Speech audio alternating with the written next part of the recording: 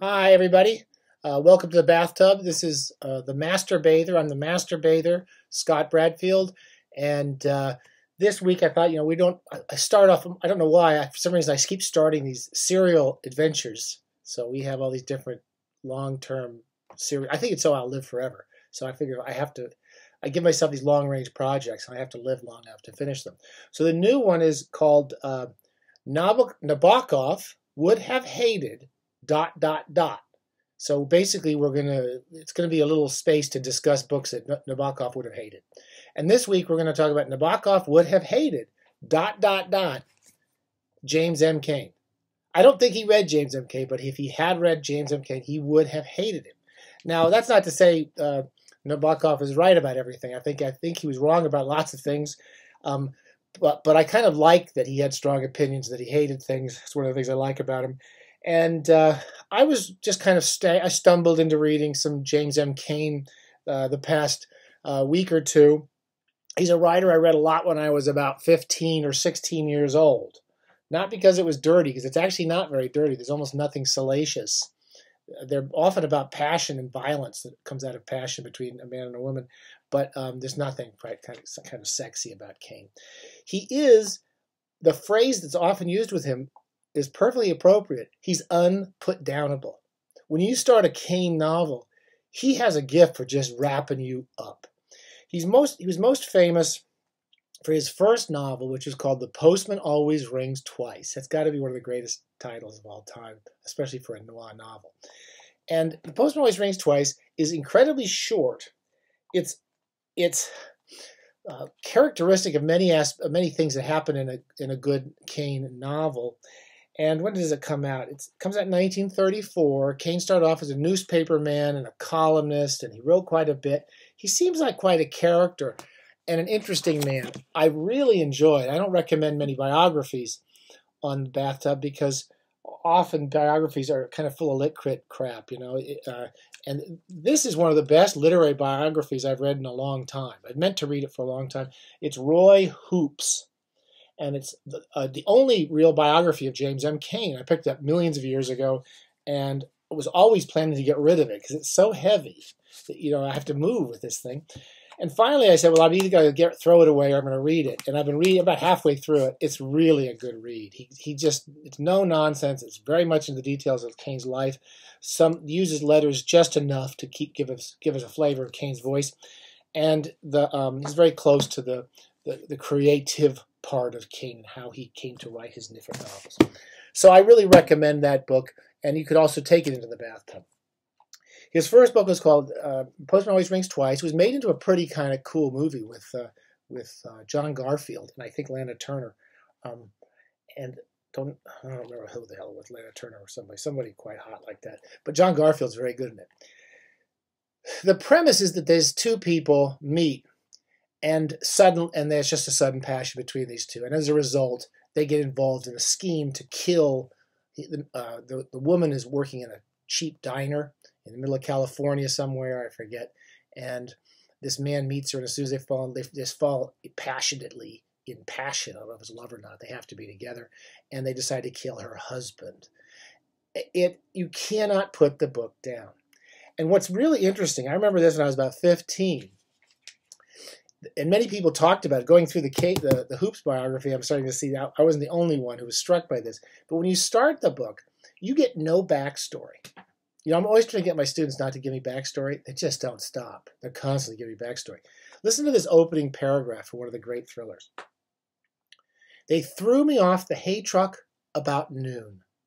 I had swung on the night before down at the border, and as soon as I got up there under the canvas, I went to sleep. I needed plenty of that after three weeks in Tijuana, and I was still getting it when they pulled off to one side to let the engine cool.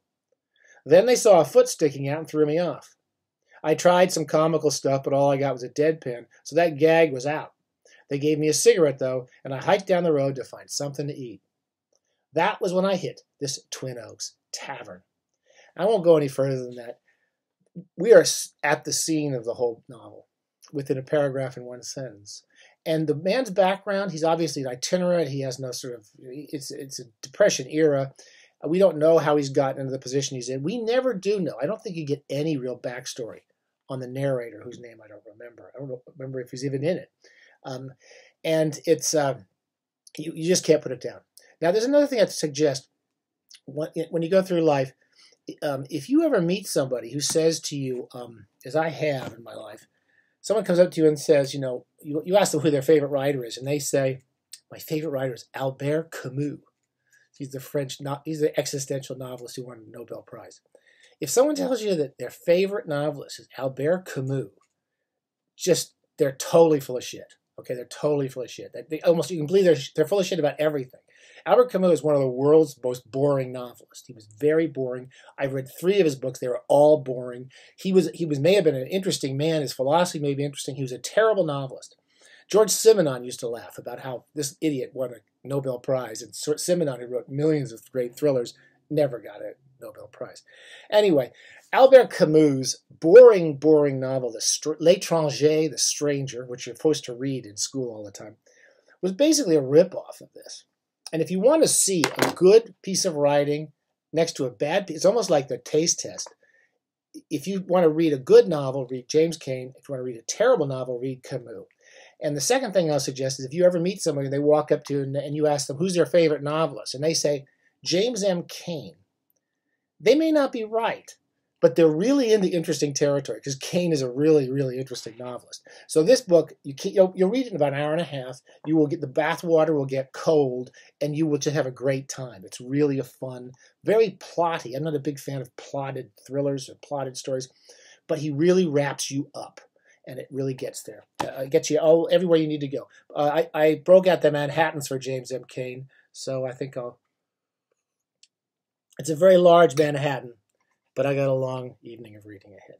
I got back into Cain because I, I read just uh, last week The Butterfly, which is a late Cain novel. And I avoided, I haven't read Cain since I was about 16. So I read uh, Postman Always Rings Twice. His, his second most famous novel is Double Indemnity, another very short thriller which was made into an amazingly good novel with a movie with Fred MacMurray and Barbara Stanwyck. Definitely go see this. This is my favorite. My I'm not a big big Billy Wilder fan, but I love the way he directed Double Indemnity. Fred MacMurray was a good actor. You'll be surprised. One of my all-time favorite novels. I could I couldn't put this down. Was Mildred Pierce. It's not a crime. I don't remember if there's crimes in it. It's about a woman in L.A trying to make a living and, and become successful. I think she sells pies or has opens restaurants or something. It's been a long time since I've read it. These lovely old mass market paperbacks that Vintage did back in the 70s, I believe I picked these up. Mildred Pierce, I, I would like to read this again, maybe in the bathtub. The Butterfly, I just read this. I sort of avoided it because it starts off with a long, kind of boring introduction by Cain in 1946. This is middle of his career. Uh, he does a lot of film work at this time, and he's sort of best known for that one Postman Always Rings Twice and Double Indemnity. But this is a book. It was it was sold as a thriller about uh, incest, about a father having a, a relationship with his daughter, sexual relationship or sexual interest in his daughter. You can't really boil it down to that. Is a very complicated little plot again. I started it thinking, well, I'll just try it. I loved it. It was a really good thriller and it has uh, that same thing the two the man and the woman who meet and um, their identities and their relationship is something that the book explores throughout the brief 120 pages set in the appalachians so it's one of the few few Cain novels that's not set in California. He writes really well about California. Very spare prose, not really specific, not like Chandler, where he gives those beautiful images uh, he, he's very much dialogue oriented. He doesn't call attention to the style of most of his sentences, but he really knows how to move a story along. Uh, the Butterfly is terrific little novel. I didn't know if it would be. And I read another one, so I want to close on this.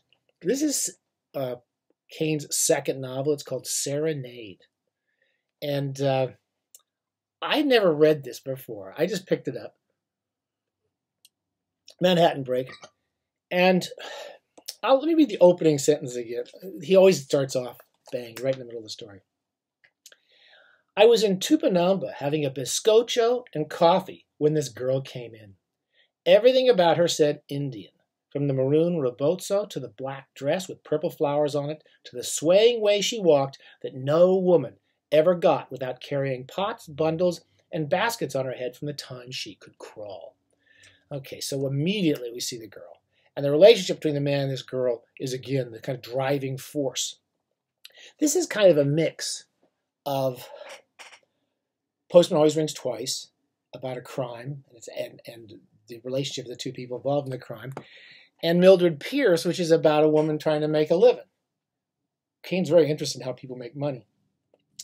As it turns out, we go a long way in this book. It's a really weird book. It's the I gave up. I'll be honest with you. Two thirds of the way, three quarters of the way through the book, I actually got a little bored and I had to skim through. It. There's actually a crime that comes in late, and I don't want to give too much of it away because there is a big shift in the novel.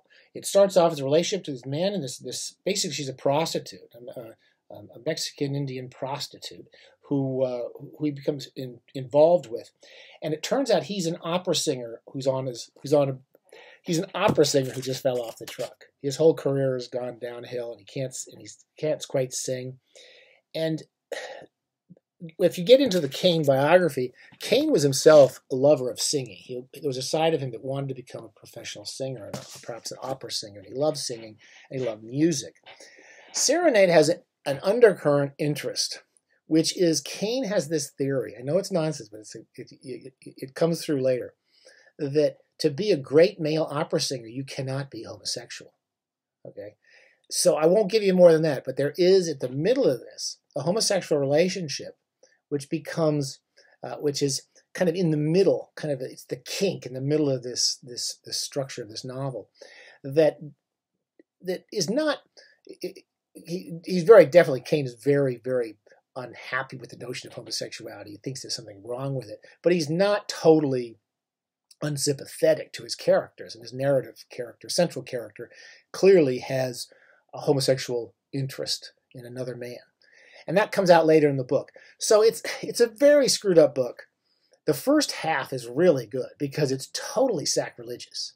There's one scene where they break into a church when he's with this prostitute, and they basically wear all the they take they raid all the there's a rainstorm and they go in there they drive their car into this church and they're wearing all this priest gear and having sex and drinking the the the, the, the wine the, the wine for the the ceremonies and it's just such a weird book really well written and then the guy gets involved in Hollywood so we see him go through Hollywood and the world of opera so it's kind of opera noir and I, I was a couple passages I want to read in here but I won't, we're running out a little bit of time there's a couple passages where he actually starts to talk about what makes beautiful, powerful writing and what beauty is. And it's on page 72. And he said, I'll give a very brief part. Uh, one of the characters who's taking him on a boat says, I think much about beauty, sitting alone at night, listening to my wireless, and trying to get the reason of it and understand how a man like Strauss can put the worst sounds on the surface that ever profaned the night and yet give me something I can sink my teeth into.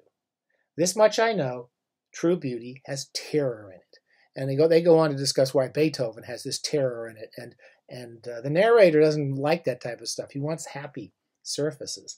And after they discuss it, this fin comes up out of the water in this dark water. It's a lovely little description of looking out on the dark water and this creature from, from the depths comes up and skims the surface and goes down again.